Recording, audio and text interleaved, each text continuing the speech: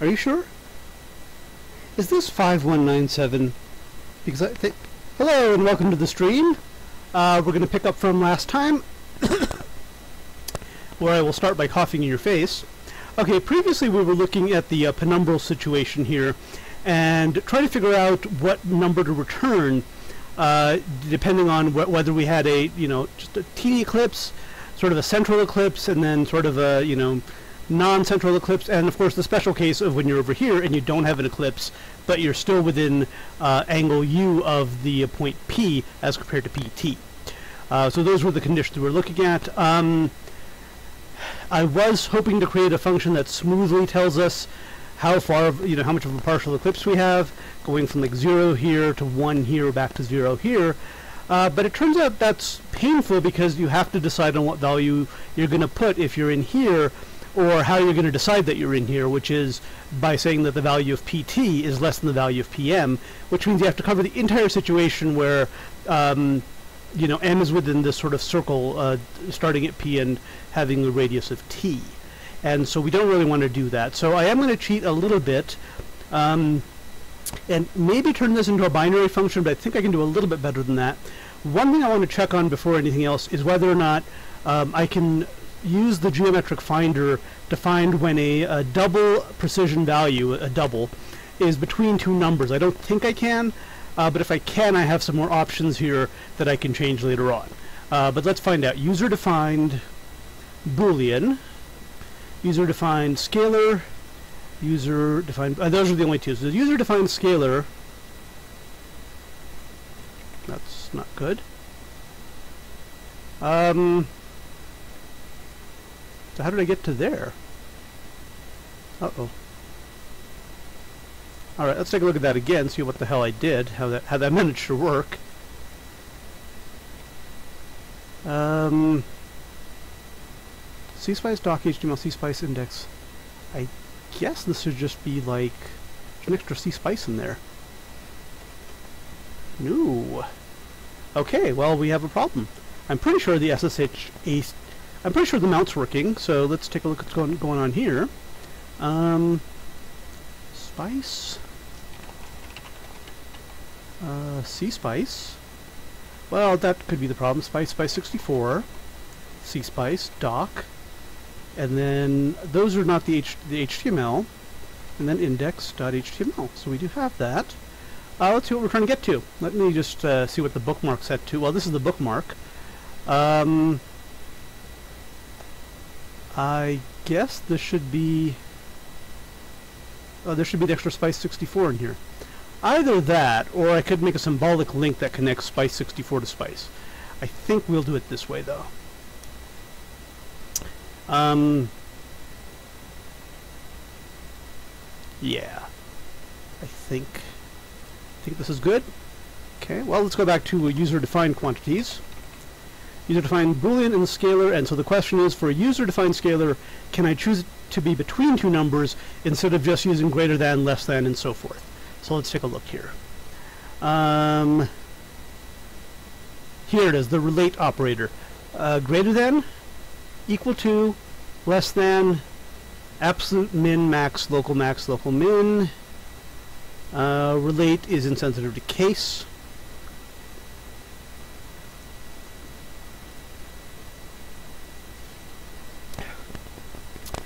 And it does appear that um, you can't search for it to be between two things. So we're going to cheat a little bit here.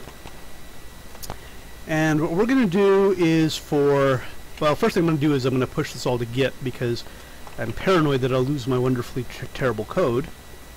Um, so let me go ahead and do that real quick. Okay. Now it turns out I haven't even changed BC lib today. So that's uh, that's uh, that's sort of not pointless, but there were other things that were changed. Okay, so let's take a look at this now. Uh, penumbral data. Um,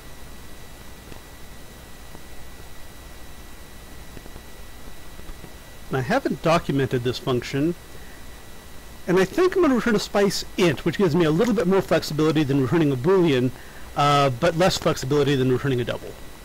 Uh, because I, I think I'm just going to give a kind of a yes or no answer. And let me go ahead and copy this um, this uh, the function um, description. Uh, well, we'll tweak it obviously. Given an ephemeris time, a light generating object, a t, and an eclipsed object as a flag value. Okay. Um, yeah. Let me go ahead and add to this a parameter. Uh, just a ret, and this is not going to be used right now, but it lets us be more flexible with our uh, with our function in the future. A currently unused integer parameter. Parameter defaults to zero. And uh, I think I'm going to do what I said earlier in the discussion with someone in chat, which is IO is really a terrible name to be using as an example. It looks like one zero. It could be input output. It could be on and off. There's so many things IO could be and it could look like one zero. It's just it's just terrible name. I'm going to use Ganymede instead. Uh, Callisto I know doesn't happen to ha happen to know doesn't have eclipses. Europa sounds too much like Europe, which is a terrible continent, and I'm glad Britain's getting out of it. That was a political opinion. Alright, so unused integer parameter pram, which we're which we might use later on. So what we want to do here is we've basically computed the positions. We um, oh, this is actually really nice. Um, the let's see the angle here distance from penumbral point and then penumbral point oh then we, we compute the penumbral point uh, which turns out not to actually need um, turns out turns out we don't actually need to uh, know the know where it is to find the distance to it but that's just because oh actually sorry we use the distance to find out where the penumbral point is okay so now let's get our diagram and uh, Let's go crazy with this. Uh, here's our penumbra. Alright, so we're looking for the angle between um, PT, not TP, this going this way, um, and this minus the little bit of the angular radius that we have. And do we have any of that stuff here? Let's see. That's going to be a VSEP call somewhere. Okay. So here we find the um, Oh, why don't I have this uh, documented? Is it because I was just cutting and pasting code from this thing? Um, all right, let me let me let me uh, be a little bit better about this. Um, radii of all three objects. Excuse me. And then we go ahead and just take the first value to be the radii. Compute the position of s and t with respect to q. Um, so this is S, this is T. This is not really the origin, and I should probably get rid of these axes because they're confusing, and this vector because it's confusing too, but for a different reason. And this point, which is also confusing, also for a different reason. Uh, and so we're not really using a uh, this axes system here at all. This is just a uh, the origin Q is somewhere else entirely. So let me see if I can get rid of this uh, these axes. Oh, nice. Okay, so this is what I'm trying to do. Um, and Q somewhere down here. At, it's it's the origin. Uh, we just happen to not be using it because we want to be looking at this. So we can certainly do that. We can find the distance between um, the position of S and T with respect to Q, not a problem. The penumbral vector um, is going to be S minus T. Now, be really careful here. I think this is the penumbral vector. If you're at T and you get take S minus T in position, uh, you get to t. So it's the vector from s to t. Hang on, s minus t plus t. Yeah, from s to t. It's this vector going in this direction. It's the negative of the arrows that are pointing. And I don't know if I could actually do like a little reverse arrow thing here. I mean, without going over what I have here, like a sort of a, a tilted line just for the purpose of not interfering with the existing labeling. Okay, so then we have st, that's the vector that uh, that's the vector that's traversing inwards. Okay. So far, so good. Distance between S and T. Um, okay. Oh, I guess I never finished this because this should really be penumbral vector. Okay. So we subtract the positions from S and T. The length of that vector is the is is the length of S to T. Distance from point uh, to the penumbral point P for T, Um, that's pt, and we have, we know how to compute that using these formulas. Um, and then, um, I guess all of this just gives us the vector. Now we want, want the penumbral point itself. This is the point um, p right here that we're getting, the penumbral point. And then we go ahead and print that out. Uh, no, sorry, we assign that, uh, basically going from t and adding uh, the length of the umbral vector because it's going to be to the between t and s, not beyond t. So we've got this point now. So now I guess what we want is um, um, uh, and find penumbral point. Okay. So now what we'd like to get is the angle between the penumbral point. Well, there's two things. We need the distance, and we need the we need the distance between p and uh, in this is q. I'll go ahead and change it back to q, um, because we are being generic. So that's q. Uh, so we need the distance between p and q and compared to the distance between p and t. That's one thing. And the second thing we need to do is, um, is see what the angle is formed by this vector, but starting at p. So in other words, the the umbral vector, the penumbral vector, and and q, the vector from let's see, q minus p, or actually I guess because q is the origin, uh, just minus p. And I think, yeah, and I think we figured out that it's like you can just do pi minus or something. Yeah, if we if we we're using the the vectors are going the wrong way for us because the s to t vector. Um, I'm sorry. Keep saying the wrong way, don't I? Um, maybe I should write some of this down. So s minus t. So this is the vector that goes from t to s. I'm sorry. This is this vector here. Um, and so we can take this angle, but then 180 minus it because going this way. Um, so let's look at the angle between, so the vector, this is the vector that we just computed, the penumbral vector, because this is the origin. And this is the vector that goes like this. Uh, the, you know, value that's length sp starts at p. And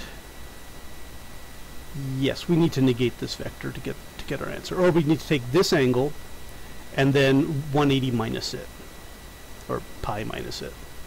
Okay, so we want is the vector separation, v sep c, between the penumbral point, um, and again, we, we, we do have to negate this, um, and uh, the penumbral point, and the vector that goes from p to s, which I think well, let's see. And I think that is... Or do we... Sorry, do we need it from P to T? Yes, we do, actually. So this, and then we want... Um, so both of these vectors are negated, I guess. So this is negated, and this is negated. So I think we actually get the correct angle there. Um, because by parallel lines, I think we get the right answer. Anyway, so I think this is actually the, the length, you know, if we put in the um, penumbral and uh, the length from P, I guess the vector is going to be the same. It doesn't matter, um, doesn't matter where the vector is centered. Um, so the penumbral vector. And this will give us, I think, the angle between um, this angle here, TPQ. And so let's see if that is correct. And have I used the word angle anywhere? I have not. The pen ang. And that's just a regular double. Okay. Now here's here's the issue. Um, now there's a special condition here that if um, we're not going to implement it right now, but we will in just a second. We don't want it to be in this region here. Um, but okay, so we know that the... Now we need to go over to this one. Okay, so we know that the vector that we want is... is uh, we know the angle of that vector. We want to figure out what v is equal to. And I could have sworn I had like a little thing here that told me what v is equal to, but it has vanished.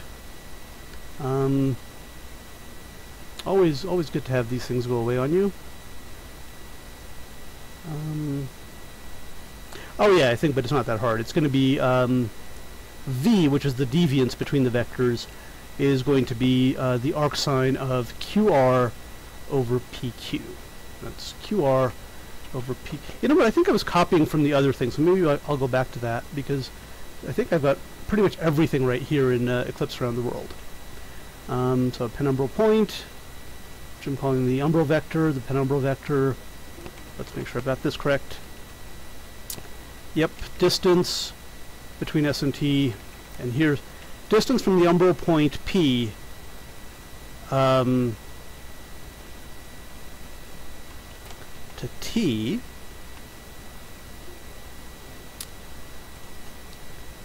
um, okay and then over here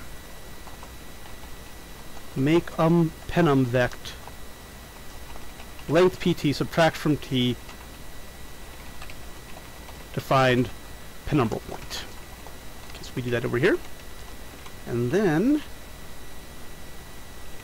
Ah, yes, here we go. Wait. The umbral angle. Okay, this is one we cannot copy and paste from because the umbral angle uh, in here is very different from the penumbral angle that we're measuring here. So I think here we do actually have to sort of take a, a little bit of a different uh, approach. Uh, the penumbral angle, which I guess we should call penum angle to be penum ang, um, is going to be the uh, the um, negative of this, uh, negative of this, so it's actually PQ, and the negative of this, but I think those two negatives cancel out. Uh, we actually want the vector going this way and the vector going this way, but uh, I think that all cancels out. So we'll just take that as the angle. We'll, we'll, we'll check, of course. Um, Okay, and now uh, the angle, and let's see, that's not correct. So what we're looking for is the angle from the penumbral vector 2q from point P. And, oh, actually this might be it. Except I think we said um, umbral point like that, umbral vector like this, and I think we said we don't need the pi over 2 here because in our case, as opposed to in the umbral case, those two cancel out. So let's call that angle Q. That is just this. And then the other thing, of course, is this is uh, Q is not just a point; it's a it's a radius, and so that is going to be its delta. In other words, um, we know this angle here but we want to know also the angle from here and here, the, the touching angles. And that's going to be ang q of delta. So now,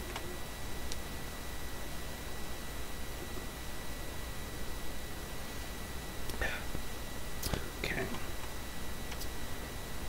So now, first of all, if v norm of um, PQ, which is actually just the V norm of P, the um, penumbral vector, uh, is greater than PT, so Q has to be further away than T, and and, you have to be a little bit careful here. We want um, angle Q, is this sucker, we want it minus um, angle delta, but we actually kind of want, um, unless it's too close to zero, then we want it to be zero. So uh, let's do, whoa, your mama, okay. So let's take the absolute value, floating point absolute value of angle Q, um, subtract angle delta, and I think we're going to be in a little bit of an ugly shape here. Um, no, in fact, let's not do it this way.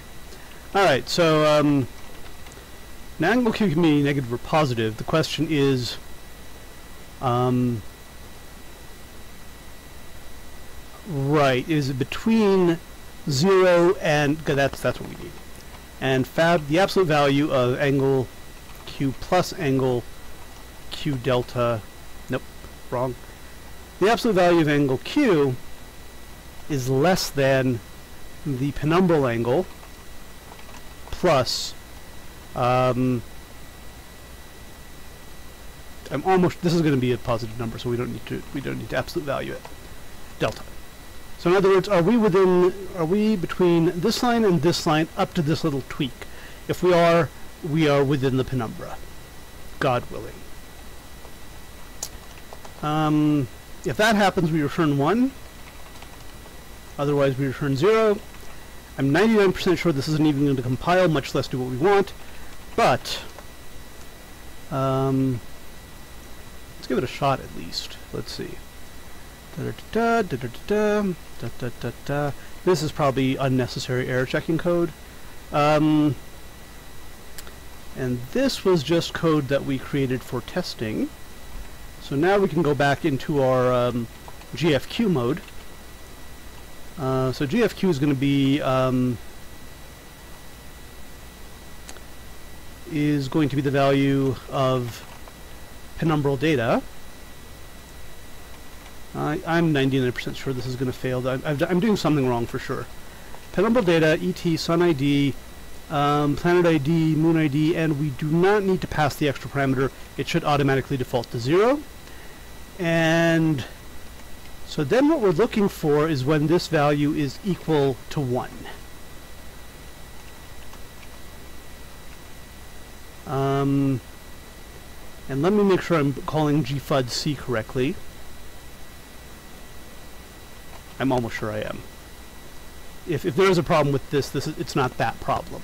It's something very different. Okay, hello if uh, anyone in chat is Roy there.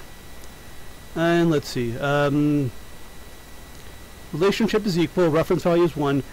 Allow variation for absolute extremal geometric conditions. That just means that if you're at the edge of one of the intervals, and I don't think I care. Um, oh, okay. That's something different, but it has nothing to do with what we're doing here.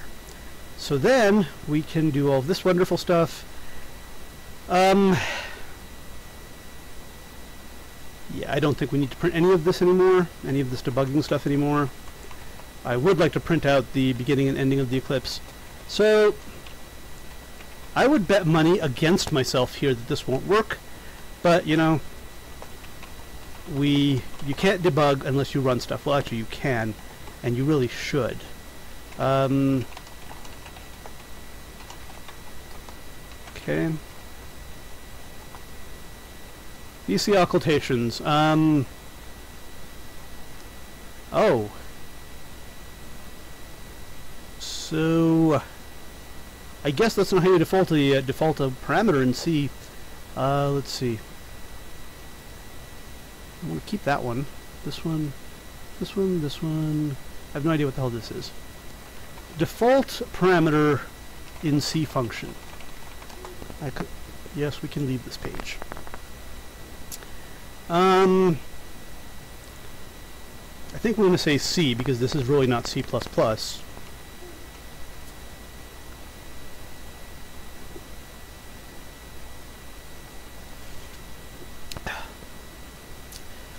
Um, no, apparently, apparently, um, you can't do that in C. So much for my brilliant plan. Uh, we will just have to pass it as zero. Um, I'm in the wrong place. Param. Um, set to zero for now. So, all right, getting back over here. Um, not really happy with these checks, but whatever, because uh, they add too many lines to the program, and we will just put this as a zero. And now let's watch it fail for reasons that are not syntactical. Okay. Um, vect. And of course I meant to say penumbral vect. So let's just see where I'm using um, um.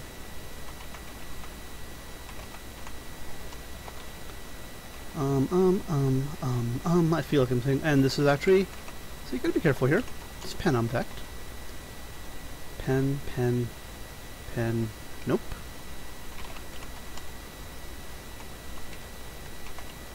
pen.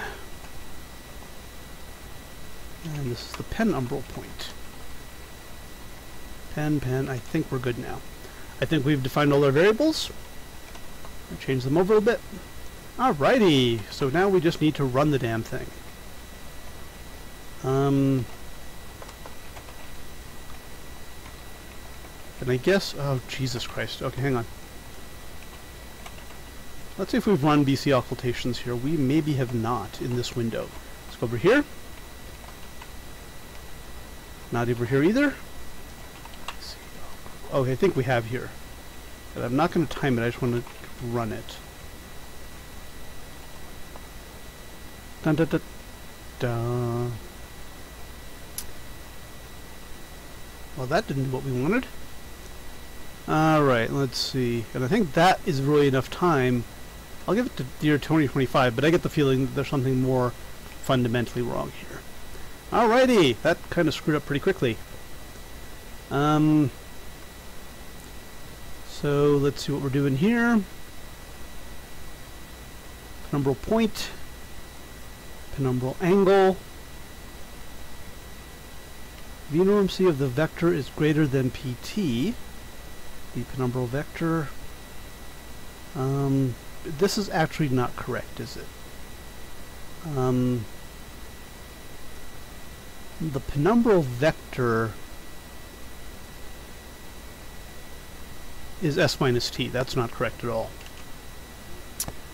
Um, so it's actually the uh, the point, the penumbral point, that is. Um, yeah.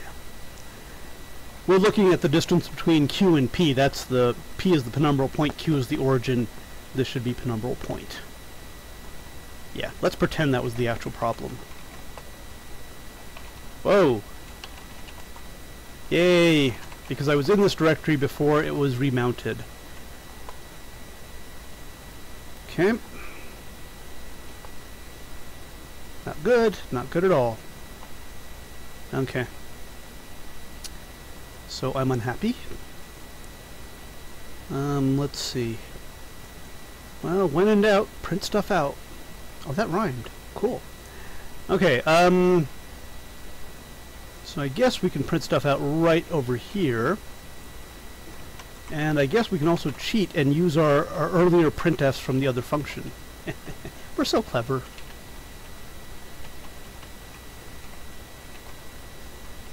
Again, we do have to change the penums to the to the ums and stuff, but that's not not a huge deal. Um, so wherever we say um, I guess we'd probably even name them, you know, label them as penum.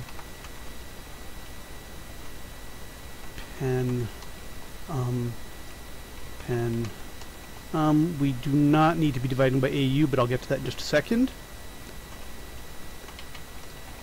Number point, pen, um, pen, um, pen, oops, um, alright, and then pen, I think we will leave these in degrees, that's, that seems like an acceptable uh, little hack.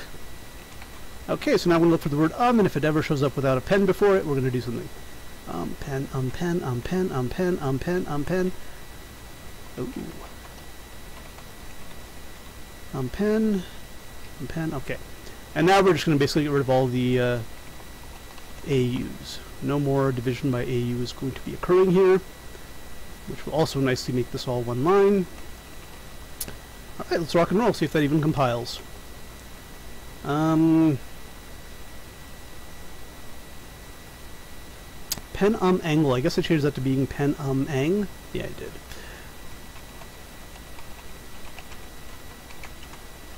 And did I do that with anything else? Well, we'll find out. Alrighty, let's run the sucker. Now this is going to be very, very spammy, of course. Okay, so the sun position is this sucker, the t position is this sucker, penumbral vector is um, going from s to t, that looks about right. Uh, the length of ST is this huge number, the length of PT, this number. The penumbral point is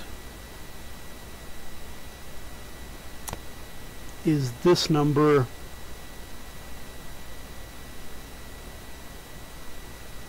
penumbral angle is... Oh. Okay, penumbral angle and angle Q are not should not be identical. That's very, very strange. In fact, they seem to be identical more than once, so something was wrong here. Um, yes, and it looks like I've defined the penumbral angle to be the same value as angle Q. So let's take a look over here, see what I did wrong. Okay, the uh, penumbral the penumbral angle um, is u is the arcsine of um, SR plus T. So where the hell am I using arcsine here? Uh, maybe I screwed that up somehow. The angle Q delta. Okay, yes, true. Um, that is also the angle Q delta, but it is also uh, is the arcsine of SR plus TR. Okay, so this is this is clearly wrong here. This is a sine of. Let me see what the hell how the hell I did it earlier though. Yeah, that's total bogus there for me to say that. SR minus TR. I was thinking a little bit too fast there. Over, do we have a definition for ST? Yes, we do. Alright, booyah. Whatever that means. Alright, one more time. Okay, now that's what we're doing here. And I guess now the penumbral angle is point. That seems about right, that this would be about 0.2 degrees in width. It'll vary a little bit, but not a lot. The angle Q is going to sort of go through a whole circle of things. And now let me see if we can do it without... Um, well, you know, while we're at it, let's go ahead and fix our debug function. I'm not really... Um, I'm not really... Uh, do I care? No, we won't do it. At some point we do need to fix the debug function because it doesn't do what it says it does, and it's not useful in its current form. Uh, so let's go ahead and fix this. Da-da-da-da. Da-da-da-da. And not looking good. Nothing's still coming up. So... Oh, hang on, hang on, hang on. Oh, that's a different program. Never mind. Okay. So we are temporarily stumped. I guess let's print out these values again. Maybe they'll give us some clue.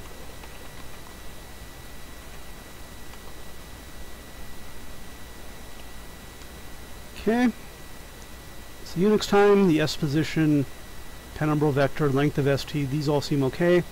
The penumbral point, the penumbral angle 0.27, the angle made with Q is 37 degrees with a plus or minus of 0.57. Let's see what happens to this angle as we as time progresses. 60, 70, it's getting bigger and bigger, so it's um, it's getting to be 105, 83, 82, 81, 78, 75, 74, uh, 66, come on, angle come down to close to zero. 44, 43, 33, 23, 15, 10, 9, 8, I feel like I'm counting down now. 6, 5, 4, 3, uh-oh, 2, 2, 2.5, 2.3, 2.3, 2.09, 1.7, 1.28, still not quite within the range that we need it to be, but um, 1.19,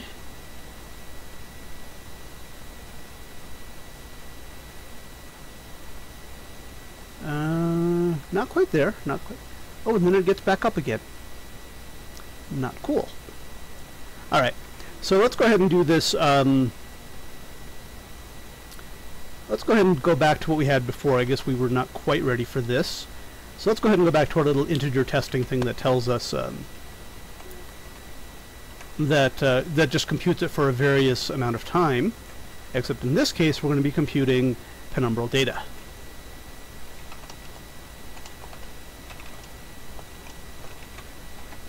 All right. See what this does. Okay. And uh, this is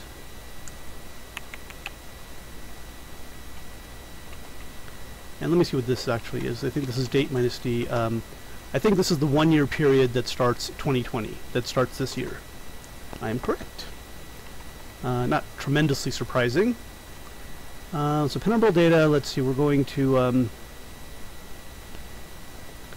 angle penum, angle q, and I think we're going to have to be a little bit better about, um, yeah, I think we're going to have to find the day of the eclipse and just do it for that day because we're, right now, we're, we're struggling. Um, so let's go ahead and do this, partial eclipse, blah, blah, blah. This is solar eclipse or a, this is a solar eclipse. Um, and this should this should work though. I mean, um, as long as we're doing our, our call correctly. Let me quickly make sure we're doing our call correctly. Um, so the moon is the observer. Okay, wait. The Earth is the obscure, and these numbers don't matter because right now we're we're just printing out for a year. Okay. And the day of the eclipse is 2020 0621. Um, and in seconds, that is, in Unix seconds, that is this much time. Uh, so, I want to be a little bit obnoxious and just comment this out because we might want it later. It would be nice if I were to mention what times these were, huh? Um, from here to here plus um, one day, 86,400 seconds. And going one minute at a time. So here we should definitely be seeing some action. Okay. Alrighty. So the angle Q is nice and low. So we're not quite in the we're not quite in the eclipse yet, but we're going to get there. 1.26, 1.25, 1.2, uh, 1. Point, okay, we, we still have a little bit of time to go. 1.02, 0.97. Okay. 0.825. Getting very, very close here. Um, almost there.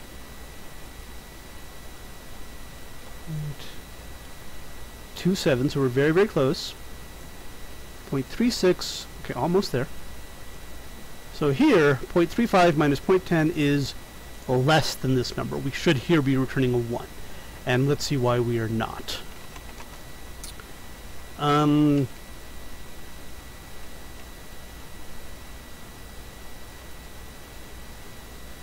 that almost worries me.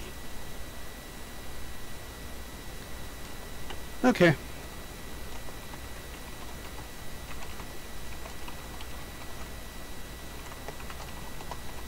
Um, but let's actually be a little bit... Uh,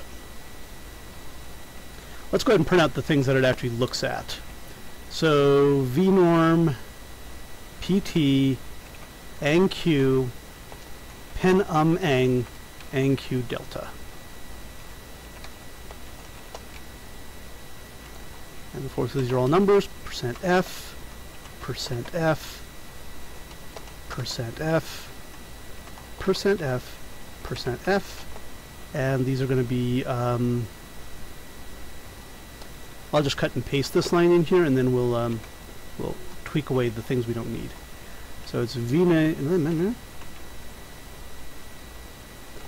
vnorm penumpt, the length of pt, the, um, I don't think we'll need, well, we're not going to say absolute value, we're just going to angle q, and then angle penum, and then angle q delta. I think that is the correct number of parameters there.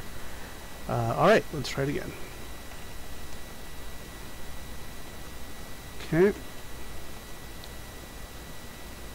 Let's get it over here where the uh, angle is really small. Okay. We could even make this more efficient by um, uh, by uh, by just jumping directly to when the eclipse begins. Okay, so we have Vn uh, is smaller than Pt. So if Hmm.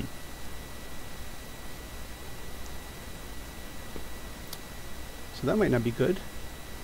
Hang on, this is 992, this is 1.3. So PT is is bigger. Um,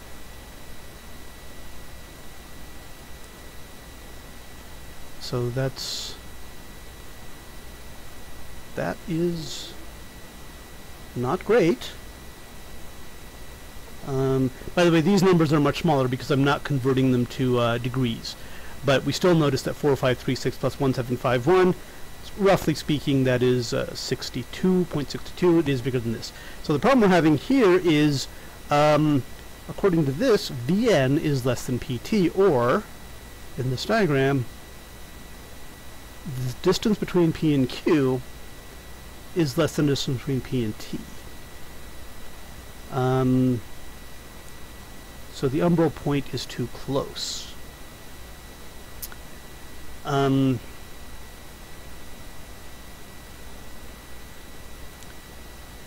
uh -huh. And why is that? Penumbral point is there. The distance to the penumbral point, the, the norm of this vector, is that, and the norm of PT is somehow much bigger. Well, slightly bigger. Um, does it get smaller, or does it just kind of stay in there? It's kind of just staying there. Uh,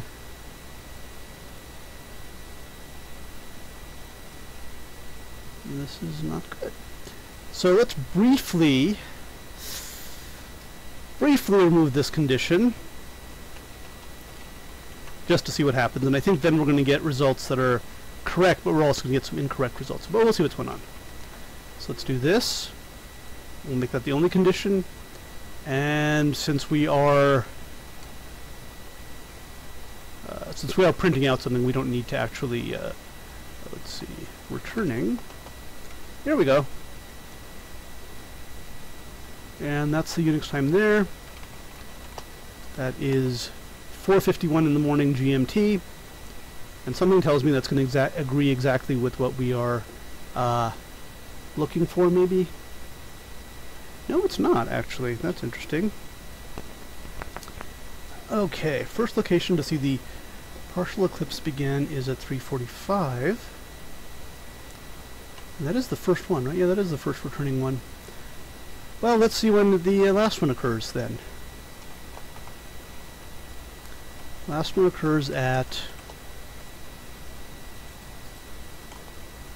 8.29 in the morning GMT, and that is very close to where the full eclipse ends, but that's not what we're talking about here. We're talking about a partial eclipse. We should be able to get that. Okay. Not cool. Um, and the fact that um,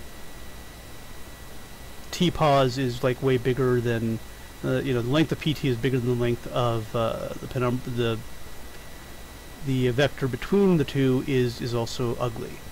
So now we're going to do something I did not want to do, which is uh, give up. No, actually, I want to give up, but we're not going to do that.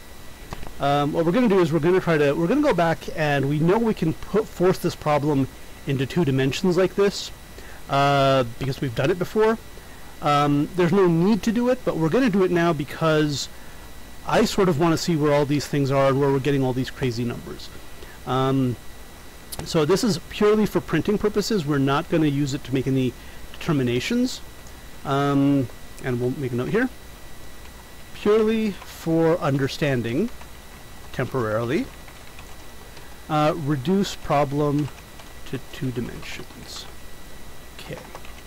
And the only things we're going to need to remove, uh, reduce here are T-pos and S-pos because I am pretty sure that um, Q you can't change the position of the origin using a, a matrix transformation. Uh, maybe we'll change the penumbral vector and the penumbral point as well. Uh, that those might be the things we want to change. But anyway, um, we're just going to cheat and do what we did before by constructing this vector, wow. Um, Wait, this is actually really weird. Oh, that's not even the correct one. 2vec, 2vec. Oh, wow. Okay, well, same function. We're going to do it differently. So 2vec, we're going to change um, st, the vector, wherever that is, uh, the penum vector, uh, which goes from here to here into the x-axis.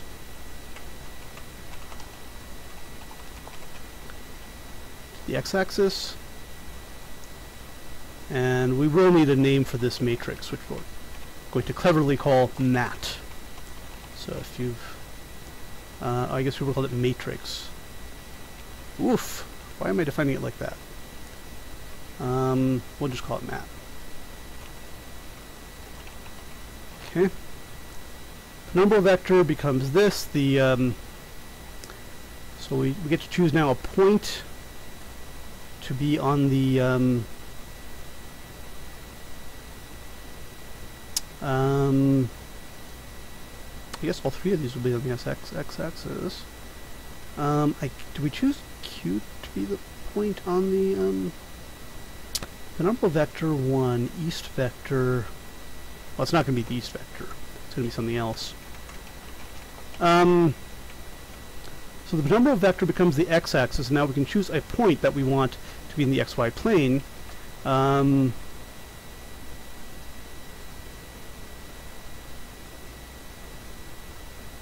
what point is that, though? Do we need to be in the... Because um, we already have Q in the plane. It's, it's the origin. Uh, TNS. Is this one of those things where we have more than one choice? Well, when in doubt, use gitk to find uh, the history of what you did and find where the other 2vec thing is. We did have it in here at one point, I know. Um, let's see, can I search in here? I should be able to, right? Containing touching paths, adding a moving string to vec. see. Okay. Um,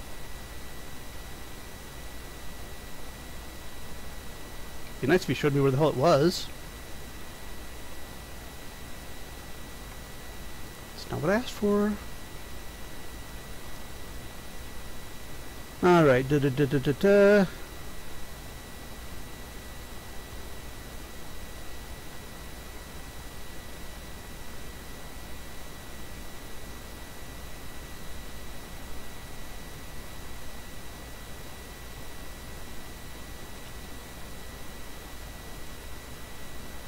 Okay. Oh, here we are.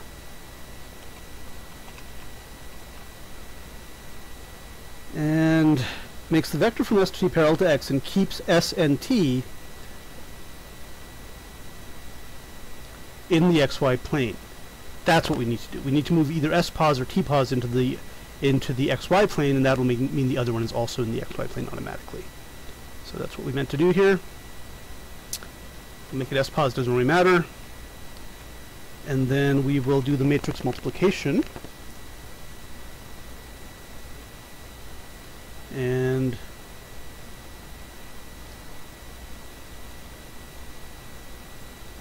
I'm going to copy these three lines but it's actually um, we're going to need to change them. Okay. Um, so now we need uh, I'm going to call these things um, temp T-temp. We don't need a Q-temp because it's going to still be at the origin. Um, the penumbral vector, uh, let's see, S-temp, T-temp, we know where Q is. I guess we still want to convert the penumbral point. Um, pen um temp and pen I can't I can't get that one. Uh, pen angle Number point. What else do we need? I think that's it. So anyway, we apply these three matrices, matrices to S pos to get S temp, to T pos to get T temp, and to penum temp to get penumb temp, penumbra, penum temp, um, sorry. we run it on the umbral vector, uh, pe the penumbral vector rather, to get the penum temp. Good stuff so far. Um, I guess we can we can just print some more crap here. Um, let's see, s temp.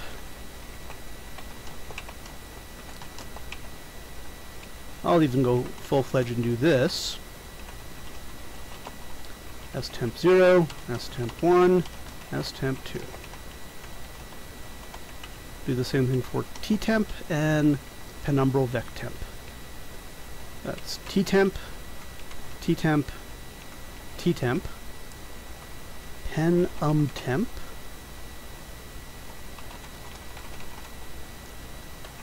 pen um temp, pen um temp. Okay, and at least some of the vectors here will, the, the angles will remain the same, because it doesn't ma matter if you measure the angles uh, in, a, in a flipped reference frame or in the original reference frame. Uh, but this might be helpful. It might not be. Let's find out. Okay, compiled. Um, okay, that's good. We have S temp is that, T temp is that. The penumbral vector is the vector that um, purely on the x-axis that does this. Good so far. Um, the penumbral vector, right, and that's fine, that's fine. Um, the length of ST is exactly the sum of these two, which that seems roughly correct. Yeah, it does. Um, length of PT is so I guess what I'm going to do is I'm going to go ahead and uh, try to put these points on the on a diagram. And God willing I won't mess up the ones I already have. Demo 1 existing matrix be gone. There we go. You have to say that otherwise it doesn't work. Okay um, and now I do want my little axes. I want my axes back. God damn it. I want my grid lines back. Oh, cool. You can do this, that, or this. We'll, we'll go ahead and do the more standard one here. Alrighty. Um, so S temp is big number 2263. So uh, this is again a real problem here with this. Uh, I'll put this like 2263 right there. And it's going to be too big for us to actually um, really put to perspective. T-temp is negative 388, so that is, again, not to scale because we can't do it to scale. Um, we'll put it like over here. Okay? Um, we don't have S, so let's call these things S and T.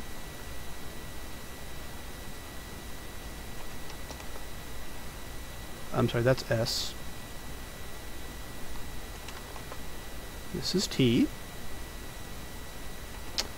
And now the penumbral point um, is going to be between T and S, and if not, we have we have a problem. Penumbral um, penumbral vector? That's not right. Um, PU temp. Where the hell am I putting this stuff? Oh, right, right. This all comes before the Unix time. Um, remember, this is before we actually uh, see the eclipse. So the penumbral uh, point is very near S temp, but it's zero. So it's, uh, and already I'm suspicious because that shouldn't be happening. Because the penumbral point should be on the same line as TNS. So something's already wrong.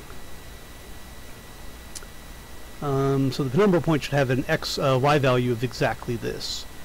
So why doesn't it? So let's take a look here, see what we're doing wrong. Um, oh yeah, I, I lost my, um, I hope that GeoGebra kept my, um, the one I wanted to look at, the uh, the penumbral point. Let's come on. what's wrong.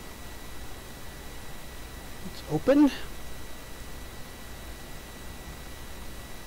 Uh, yeah, that's what I want.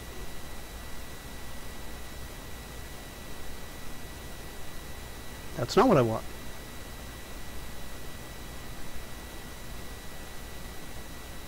Penumbra. Fix! Be magic. There we go. Somehow my formulas got lost, but uh, I don't think I care. Anyway, this is close enough for right now. So let's see how we're figuring out what uh, P is. Clearly we're doing it wrong. Let's go back up here. Uh, we get the uh, body radii, we get the positions, we uh, take S minus T. Huh. Oh no, this is actually okay. This actually just says that the vector is a straight line, which it is, um, between S and T, and this does look like it's correct. So this is actually, we're fine, let's go back to where we were. So this is the, I'll go ahead and draw it as a vector. Okay. Um, so far so good. So we would expect the penumbral point now to be between P uh, between T and S. Um, but I don't think I converted the penumbral point to an under our transformation. So let me go ahead and do that now.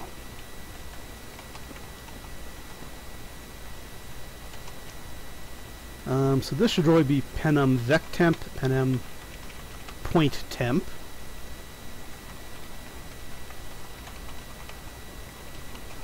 And let's make sure we print them correctly. So this is p penum vectemp. And don't worry, I will fix both of them here in just a second. This is p uh, penumbra point temp. And here we have penum vec, penum vec, pen um vec pen um point point point okay now let's recompile. And let's let's see what the hell we're doing wrong. Um, and again we're doing it before the eclipse starts but that's okay. So the penumbral point here is um, 9992 da, da, da, da. so it is it is correctly between the two of them. Um, it's much closer to the sun let me make sure I'm reading no I'm sorry it's um, this is 151 million this is 992,000 it's much closer to T as we would expect so we will go ahead and call that the penumbral point and we will put it like right on this line um,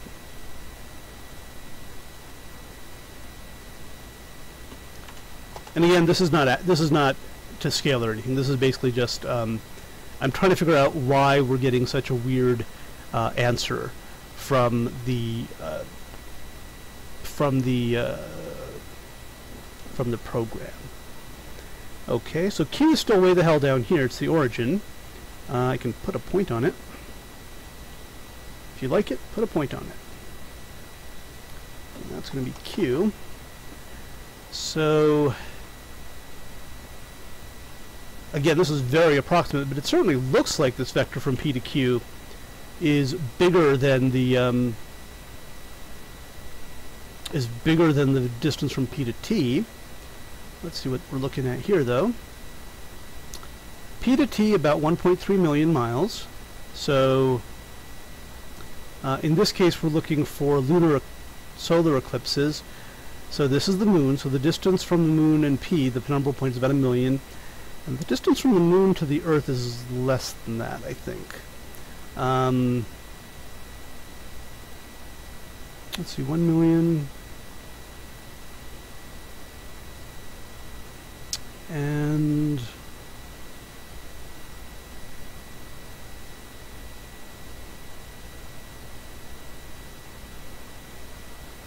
So the length from P to T is 1 million, and the actual vector, the penumbral point, we don't actually compute its norm, but, well, actually we do, hang on, is 992,000. So that is, that is weird. Uh, that is not what we expected. Um, now, of course, these numbers are all actually much, much closer to here. Um, so, so I guess I don't really get why this is this PQ is. Um,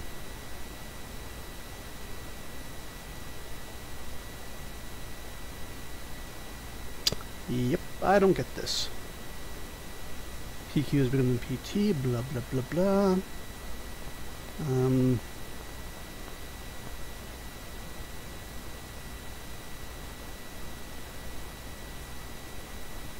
hmm. Well, actually, of course, all of these... Nope, didn't want that. We can move this whole vector down, because it's much more like... It's much more like this. Um, but I guess if it's not to scale, I'm still not seeing it. And putting it to scale might be a really bad idea. Um, uh, maybe we can make PT and Q to scale and then get rid of S, which uh, we'll just sort of figure out where, where that would be. So I guess we'll just delete this sucker. Be gone. Okay. So that's Q. Let's go ahead and just put um, P and T. So T is, uh, let's make this, um, let's talk in terms of 100 thousands. So this is minus 3 comma point 2. Uh, like right there, compared to the Earth, which is still Q. Um, we're not doing the P umbral vector is uh, doesn't really matter because we only want the point. The point is going to be at 9 comma point 2. That which which seems like it's fine. This does not seem to be an issue. And this is going to be the, the penumbral vector. The penumbral point, rather. So it certainly seems in this that uh, Oh. Wait.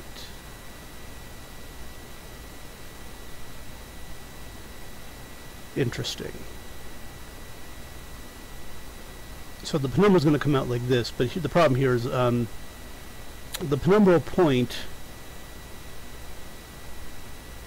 is closer to Q than it is by quite a bit, in fact. Um, So we have Q's in this area here. I get the feeling I'm doing, I think I've got my test flipped or something. Um, but I guess even worse than that, we have a case where, um, okay, I need to figure out what I'm doing here. Let's make sure I understand this. So, yeah, this is the Earth casting its shadow onto the moon. So this is the moon. Right, because that's Q. S is the sun and T is the T is the planet. Moon, Earth, Sun somewhere way the hell over there. Um,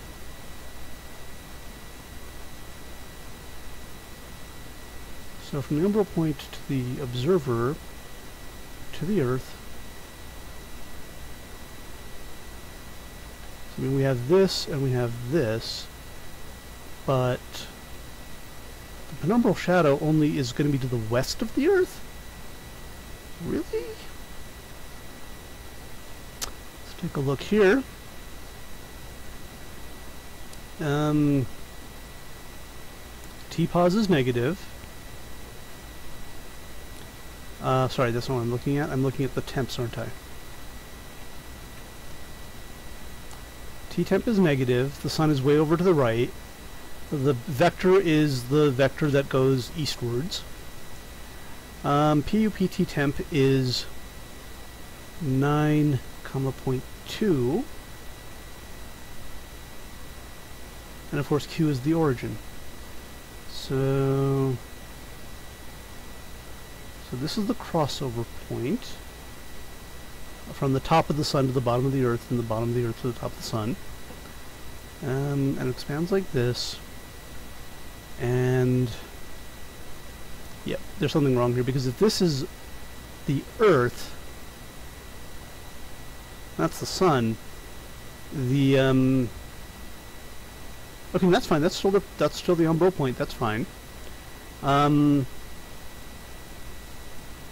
But for the moon to be eclipsed, it would have to be to the left of T, which is not happening here. So let's go. Let's go ahead and wait until we actually have a uh, returning one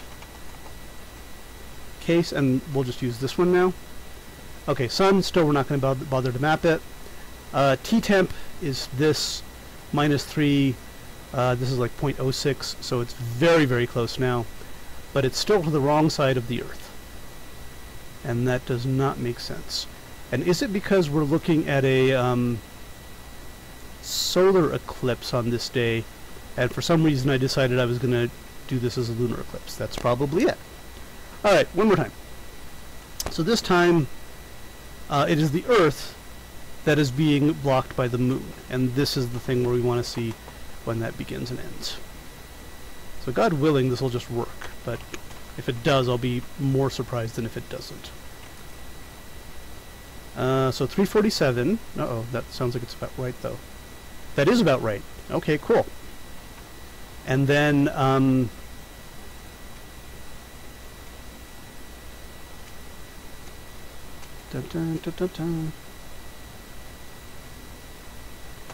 Whoa! Hang on, we went kind of like a little gap there. Or that was it just going too fast? I was going too fast.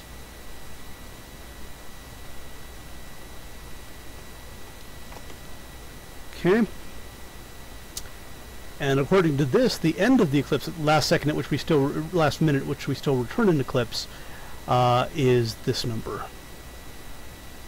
So if this works, that's great. I have no idea what the hell I did though. And that's 933. And unfortunately, whoa, whoa, whoa, 347 to 933. And over here, yep, pretty much, we got that. We nailed that. So the only other question is um, we were having an issue with the, the V norm of the penumbral point being greater than PT. Let's take a look to see what that's doing now. Um, we want V norm to be greater than PT. V norm is greater than PT. V norm is greater than PT. V norm is greater than PT. Okay, so somehow we magically fixed it. I'm going to go ahead and push this to, to Git before I forget.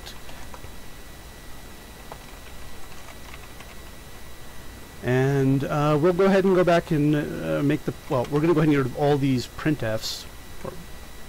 Uh, and actually, we don't even need the matrix transformation, so we can go all the way from here. Nope, we don't even need this. So we can go all the way from here, all the way down to the, um, here, replace this one to get back to what we wanted in the first place. Um, I think I'm okay with this saying returning one every so often. We can get rid of uh, this. And God willing, we should be able to see our eclipses for some period of time. I don't think this will work, but let's see what happens. Well, it compiled. Always a good sign. Yeah, that's going to get... Wait. Wait, wait, wait, wait, wait. Wait. Okay, it does return one quite a bit. In fact, it returns one 100 times. Hmm, which is suspicious, but okay. So now what's wrong here? Um, penumbral data equal 1. Uh, yeah, you should have a result for that. Dumbass.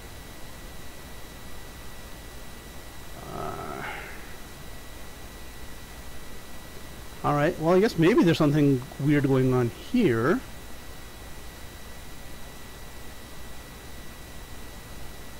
And since this this is um, this doesn't actually return a value, but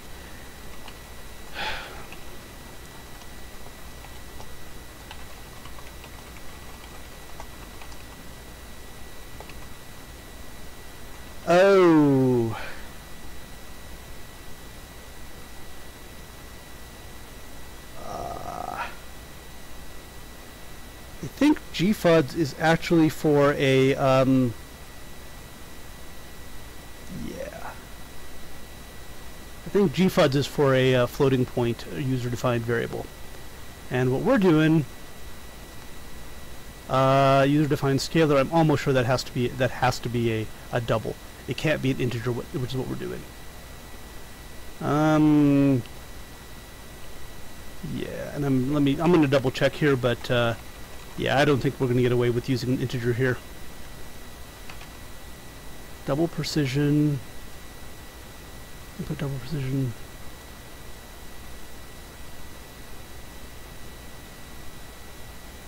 Yeah, I, I I just I just think that's the issue here. Um.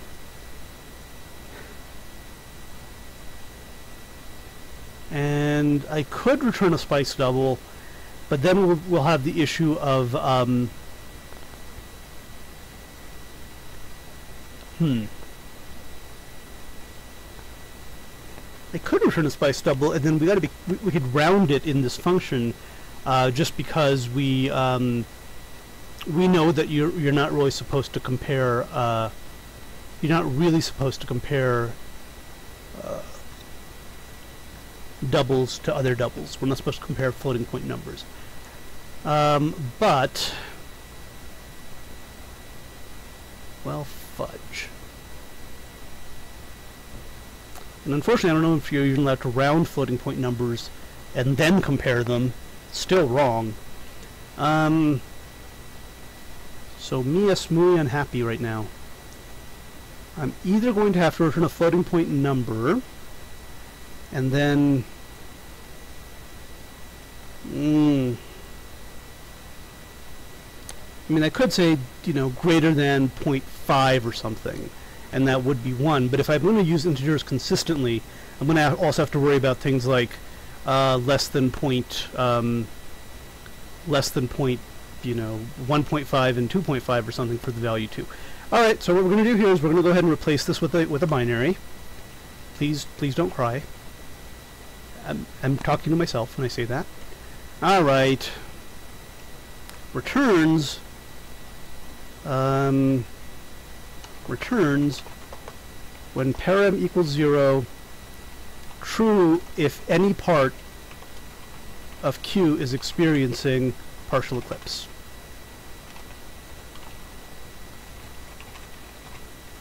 So this is going to be a spice boolean and instead of returning 1 we're going to return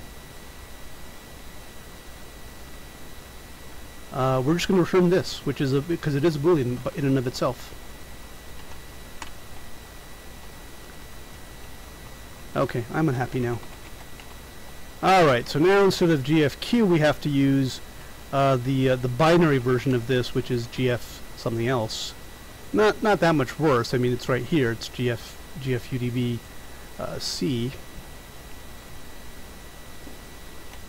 Um,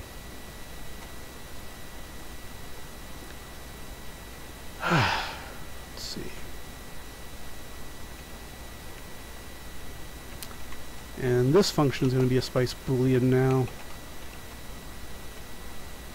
And and we can't do this anymore. Alright, GF Bud C. Alright.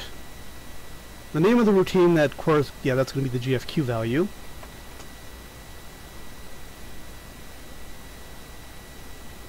Name of the routine that compares the oh what? Um wait. This is the binary version, right? Yeah, uh yeah, Boolean, binary. The routine that computes a scalar quantity of interest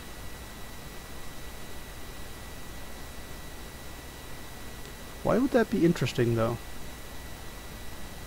What are we using that for?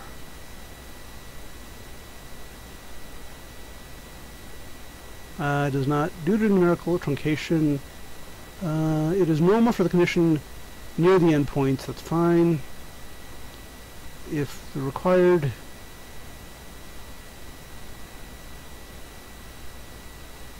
Boolean function evaluates true.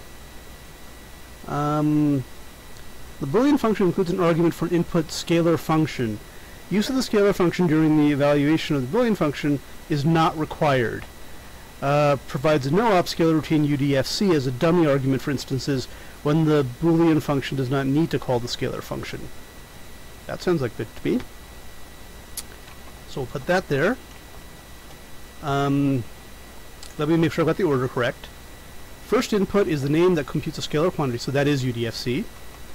The second is the one that actually computes whether or not the value is true or false. Um,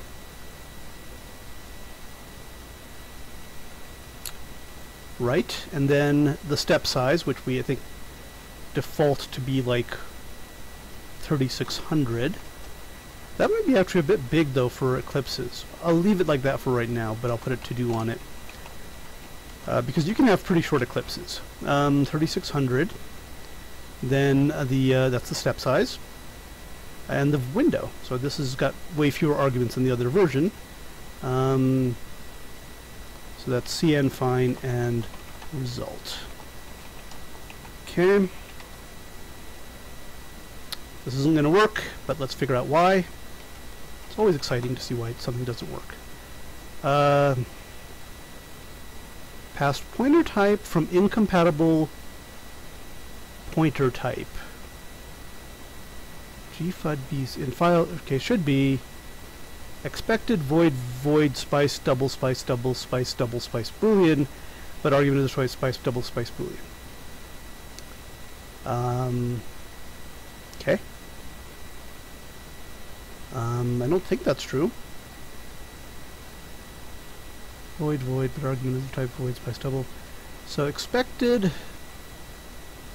pointer to a pointer to a... Mm, that's not correct. So we want a function that takes... Yeah, that takes... Oh, wait. Do they have the first two flipped? Ooh. Uh, let's see. F name of the routine that computes a scalar quantity of interest. We don't care. Name of the routine returning the boolean value. So, um, the calling sequence for udfun is the name of the scalar function. Oh.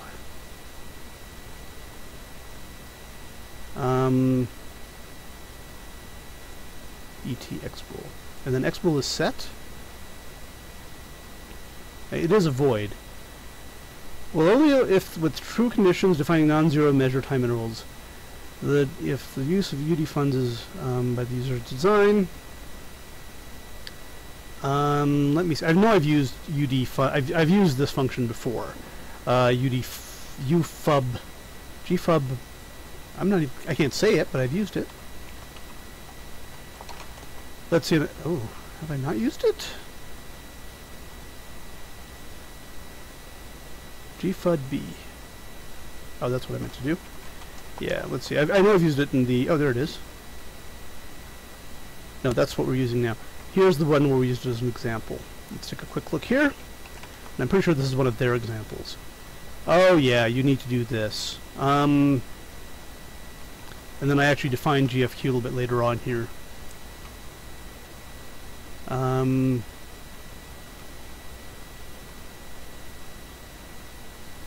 what the hell?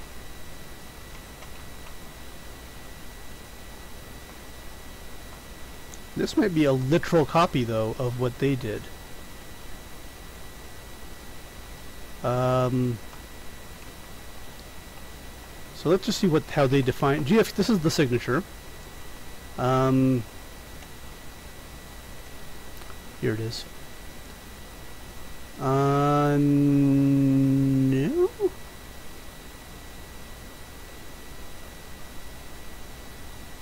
Um. So does this example not even compile?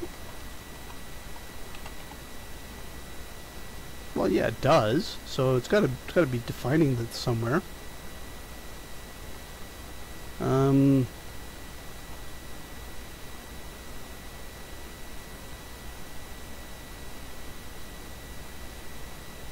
Okay.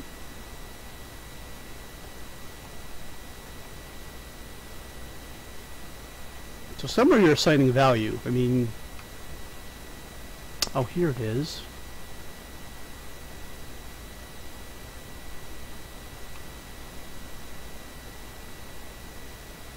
Okay.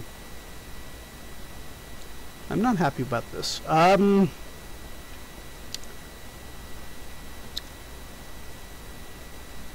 Yeah, I'm not happy about this. I really don't want to go this extreme into a um, into a boolean function. So we're going back to the future. Not really. Um, we're going to go and tweak this again. I'm going to go ahead and do a. Uh, I'm going to go ahead and do a git push in case we want this back, but I don't think we will. Let's go ahead and make this a spice double again. When pram equals 0, return uh, less than 0 if no eclipse, 1 if central eclipse at center of Q, um, and uh, let's see between 0 and 1 if partial eclipse somewhere on Q. Okay. So all this remains the same. We could almost put this into a subroutine, but we won't. Uh, this, this, this, this, this, uh, da da da da da da. Here we go. So now, oh, and we can actually put in um,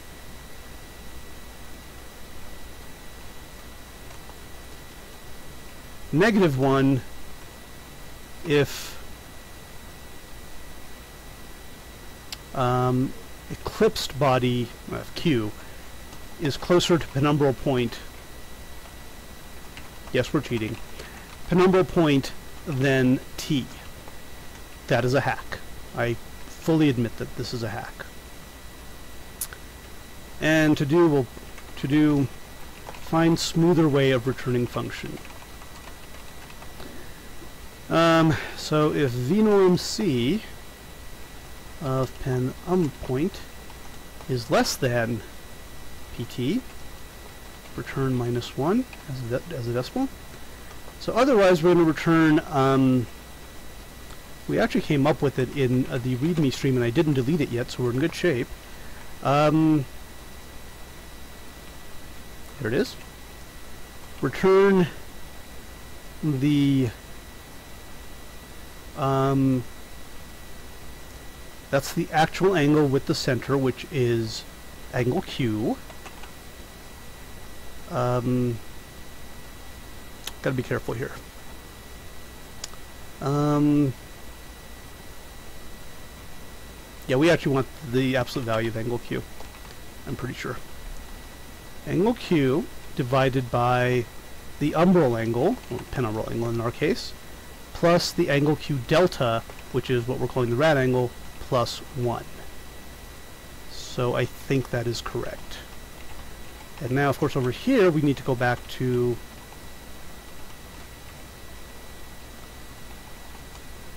uh, is greater than 0 because we flipped the sense of our test. Um, this is still possibly true. So I'll go ahead and put this as a question mark here. Um, that looks like it's fine. This is going to be a spice double. I see the word boolean anywhere. Why do I have the word, why do I found find here? Oh, yeah, just for this test here. That's fine. Over here, if we have the word boolean anywhere, no, we don't. Okay, I don't think this is going to compile, but we're, we're closer to where we want to be. It did. Okay. Well. And, oh, gorgeous. If it works, it's gorgeous. If I can cut and paste correctly, it's gorgeous. 346.20. And that is a um, very close to the actual time. For the beginning of the partial, and now we should get the end of the partial eclipse.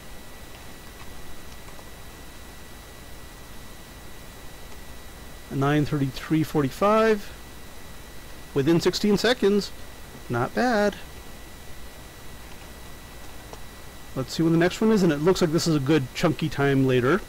December 14th of 2020. And we're still looking at solar eclipses. Um, they are frickin' stingy about giving you eclipses.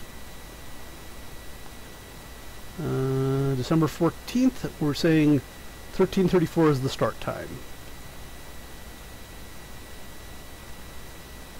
Uh, for the very first. Very nice, 1334 and 13 seconds. We're off by about 18 seconds. Couldn't ask for more. Well, you could, the 18 seconds, but that's pretty good. And then we're saying 1852 is when the last, nice, gorgeous, beautiful. One more, and then we're going to flip to lunar eclipses, where I'm sure we're going to screw something up. I mean, there's just no way this is going to keep going. So June 10th, 2021 is the next one according to this. And da, da, da, da, lunar, lunar, June. Okay, man, we're, we're, we're cranking. This apparently is annular, but that's okay because we're looking at partial, so we will hit annular as well. Okay, so June 10th at 8.12.42, they say 8.12.20, 22 seconds. Brilliant. Much better than I expected. And the ending time is 1311. Let's see if we agree with that here, and they do. Gorgeous. I'm going to push this to Git... I think I just did, but just in case I didn't. And I'm going to even put it as a working exclamation point here. Okay. So now we're going to flip to lunar eclipses. And that just means we flip that the moon is being eclipsed by the Earth, at least in part. Dun dun! Okay, according to this, the first one's going to occur at January 10th, which is, by the way, eight days away. So, if you want to watch that one, and then maybe this will work. I don't know. Uh, uh-oh, uh-oh, uh-oh. No, January 10th, that's fine. We're good, we're good. And according to this, it starts at 1707, we say 1712. Um, that's not great. But within five minutes, not too bad. If we get the end time roughly right, 2107, according to this, it ends at 2112. So we kind of killed it, we snipped it by five minutes on either side. Um, and I guess we just have to deal with that. Um, I, I guess I'm I, I'm okay with that. I, it's it's not great though. I'm, I mean, but there might be more to it than we're we're seeing. So the next one, June 5th, is that going to be? Do we agree that it's June 5th? We do. And we think it begins at uh, these guys who are correct thinks it begins at uh, 1745. We say 1751. Interesting. And we say it ends at 2058. These guys say it's into 2104. So we're, we're losing about five minutes there, and I'm not exactly sure why. I mean, we are using the Earth's largest radius instead of using the average radius, which we, which we could get. I mean, we, we could do that. Um, but you would think with the larger radius we would have more of a lunar eclipse instead of less of a lunar eclipse. Um, so a little bit confused here. On the other hand, we are making assumptions like uh, the Earth is spherical uh, and and a few other things. Not not great though. Not not super happy. So one more, and if this works, we will be convinced that this is working for partial eclipses. July 5th at 3:15. Survey says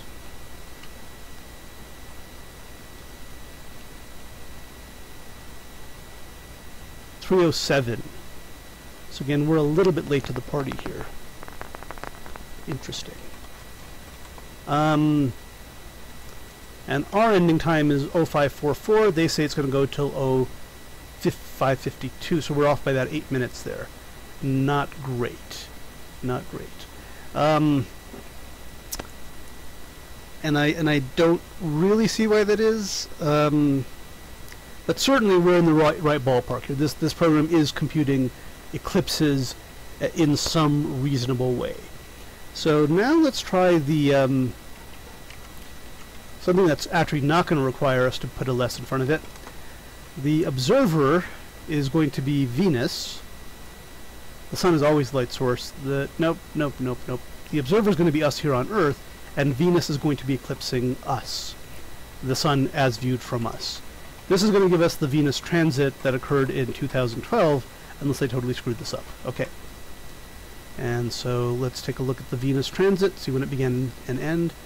Um, 2012 Venus transit. And let's see if we can get, um, let's see here.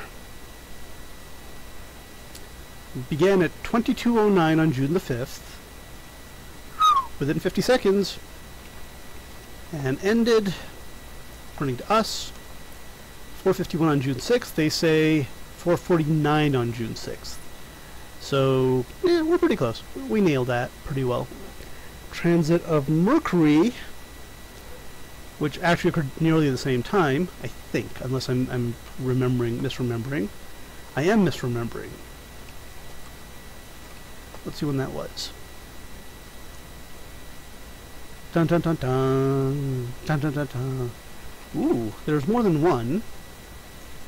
Transit of Mercury on in 2003. I don't remember that.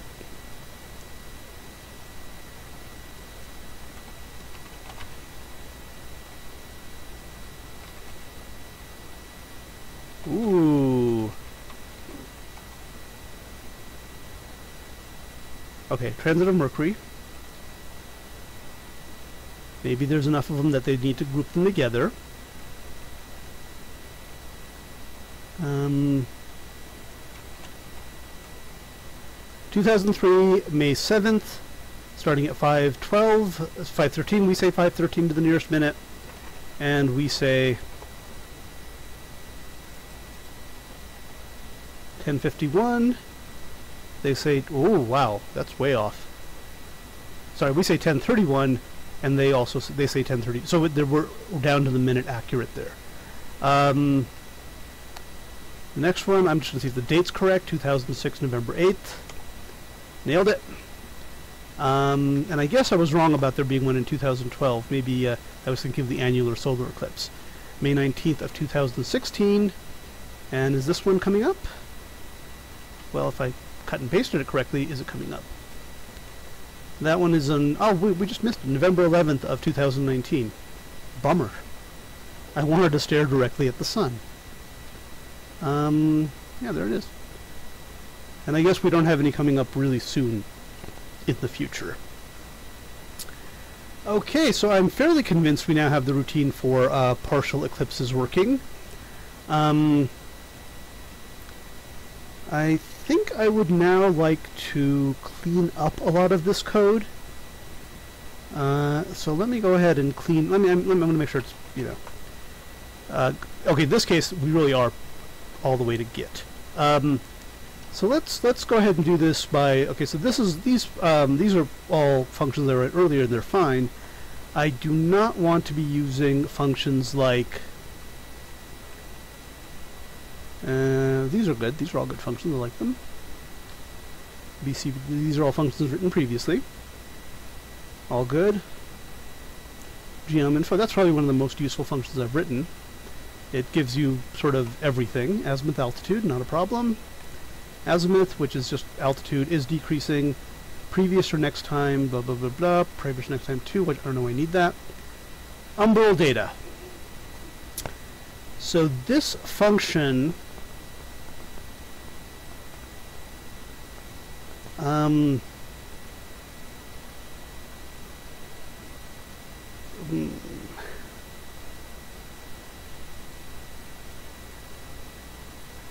I'm tempted to leave this one here. We need to fix this one, but um, that might be okay. Separation data. Do we use separation data anywhere?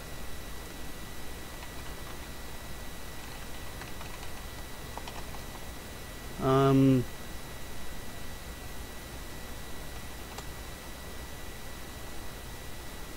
mm, I'll leave it because somebody appears to be using it in a non-stupid way. Perp vector. Uh, sounds like it's dirty. I don't think we actually need it because I think it, it replicates a function we already have. Um, well, let's see if anyone's using perp vector. Um, God damn it.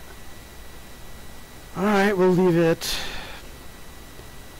The ones I'm really trying to get rid of are like min corner eclipse. That's the one that is really horrible.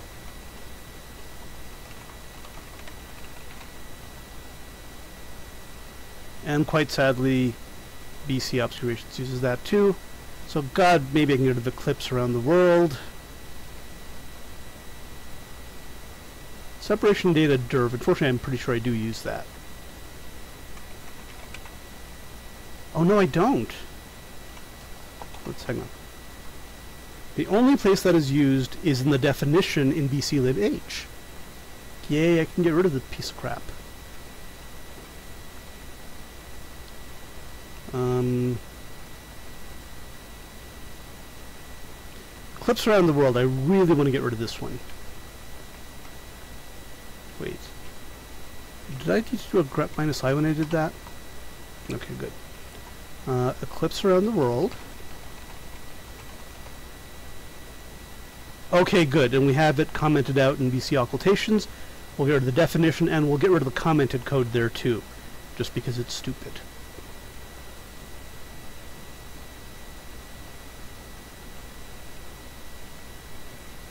And then I think our penumbral data, of course, is our, our shining star function. Uh, BC occultations, let's look at the um, commented code here. That's all fine. This we'll leave in because we might want to use it for testing again. This we won't. Okay, okay, okay, okay. We'll get rid of that. Jeez. Um.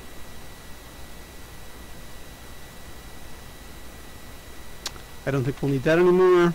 We definitely won't need this anymore. And so we can do that. And good, that's gone. And then uh, we can get rid of the... Um, yeah, I'm tempted, maybe we should really leave this all in here. Um,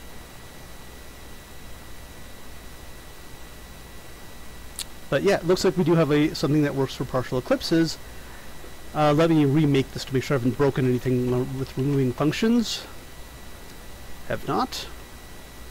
And one day I'm going to remember what the order of these uh, these uh, parameters are without having to look them up each time.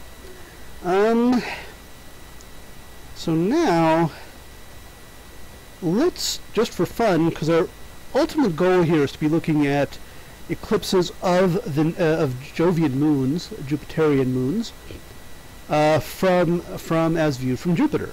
Uh, so in other words, we want to know if, for example, Io, that's the observer 501, Sons of the Thing, and we want to know when, um, there's, there's going to be a whole bunch of these cases, when Jupiter partially eclipses the Sun as viewed from Io. And we're going to just randomly choose one of these times. And it, it doesn't, it, well, it lasts a long time. It, the partial goes to, to complete very quickly. So December 12th, 2020. Well, why am I... No, I want to find the ones that are like right now. Because I am awesome. Because we're still really early in the year. Let's see if this one actually occurs in the future. Um, this is actually in the past, but just by a little bit. Alright, so let's see if we can find this one. And of course, this is mostly just an excuse to bring up Still Stellarium! Everyone cheer. Stellarium, yay! uh, which unfortunately I cannot run in full screen mode. Can I? No, I can't do that. Um, oh, let's see. Image sensor frame, tell right side, Oculars plugin configuration. Um, uh, nope, I'm going to have to alt-tab out of view, but I think if I do that, it's not going to work. Um, let's see. All right, full screen mode F11. There. Now we're out of it, actually. We were in it, now we're out of it. Unfortunately, we are going to have to look at it a little bit smaller than full size because I need to look back to where I am. Wow. Not at all what I wanted. Um, January 20, January 2nd at 11.57, but we need to go to Io first. First class to Io, please.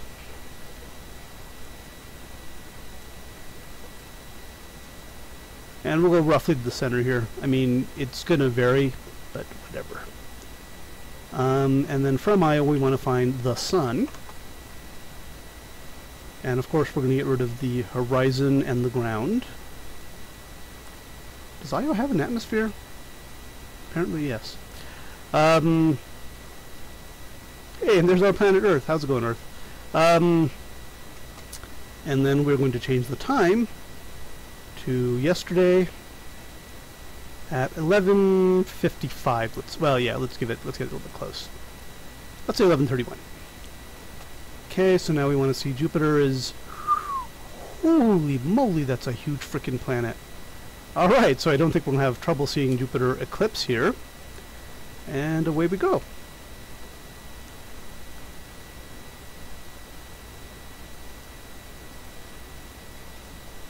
Okay, one second here.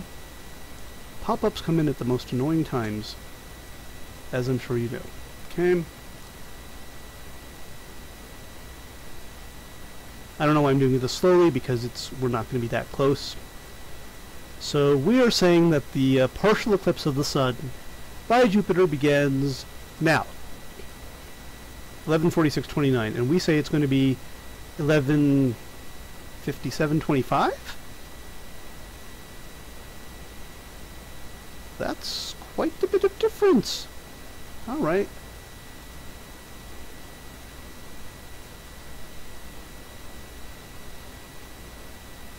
Wow, we're way off. But I mean, you know, way off in the sense of just by a few minutes, but still. Uh, wow. And we say this eclipse is going to end at 1350.18. Let's speed up time a little bit to watch that.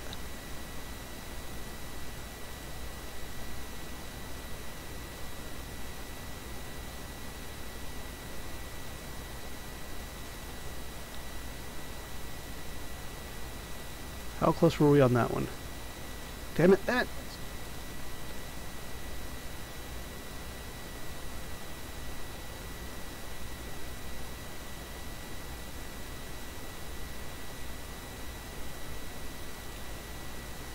So 1403 and it's emerged, we said it would emerge at 1350. Not really great, and I, um, I'm not really understanding why.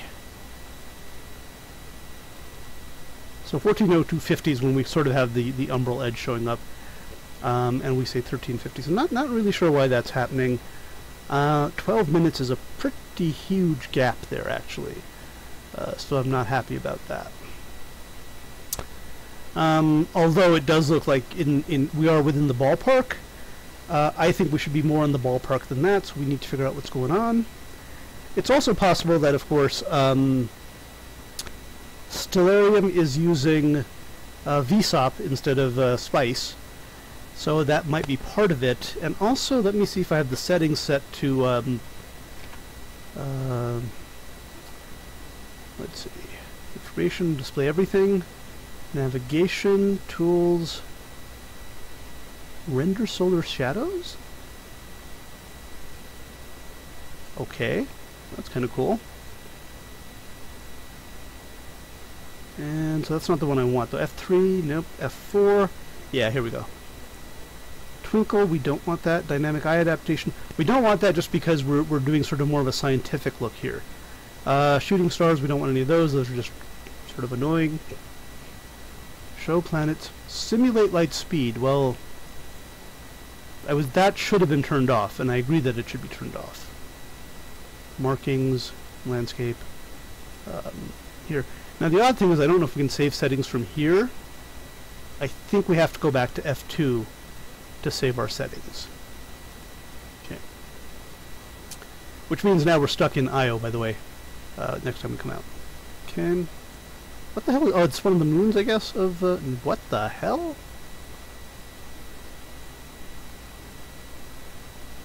Huh? I didn't know about that one. I guess that one must be visible from Earth too. All right, so that's um, that's Jupiter eclipsing. Um, that's Jupiter eclipsing I, the Sun as viewed from Io. Okay. So now the next thing we want to do is, let's see, I've been going for about an hour 45 minutes. The next thing we want to do is we want to start looking at umbral eclipses. We want to be uh, looking at, um, let's see here, the umbral situation where the planet is between these two things here. Um, and, and return. And in this case, we're also interested if the whole planet is eclipsed or only part is eclipsed. Because if the whole planet is eclipsed, uh, then what we have there is a, a that is a, a total eclipse, a total lunar eclipse, which is the kind of thing we're really looking for, a total obscuration of the moon, as opposed to a partial or a penumbral eclipse, which is what we're seeing now. Um, I will go ahead and end the stream for now. I probably will not be coming back tonight, uh, though I reserve the right to do so. Uh, thank you if anyone is there for watching, or if you're watching later, thank you for watching, and have a pleasant evening or whatever time of day it is. We'll leave you with this uh, shot of Tijat, whatever that is.